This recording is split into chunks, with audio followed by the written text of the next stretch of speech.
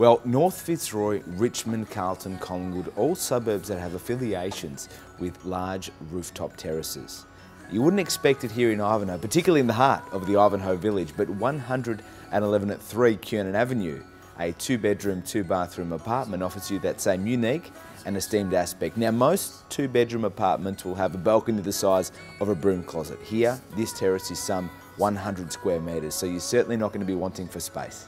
I'm Nunzio from Nelson Alexander. Join me on a tour of this fantastic property. This superbly appointed residence with lift entry from a marble tiled foyer offers two double bedrooms, elegant fully tiled main bathroom, expansive living and dining room flowing to alfresco garden with planter beds. Designer kitchen with Miele appliances and custom cabinetry plus concealed laundry.